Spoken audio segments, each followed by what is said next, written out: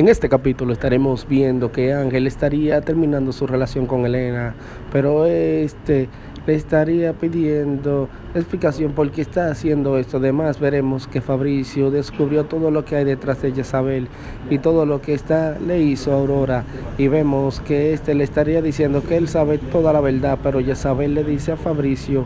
que si abre la boca, él que va a sufrir este mián. Además, veremos que Aurora le estaría pidiendo a Julio César que ella sabe que su hijo está vivo y que va a buscarlo. Además, veremos que Demián le estaría entregando un maletín lleno de dinero a Ángel, porque este fue el trato que estos hicieron para que Ángel se alejara de Elena y que tiene carta abierta en el hospital para tratar a su madre. Así que sin más preámbulo, para que sigas disfrutando de este capítulo completo, te recomiendo que te suscribas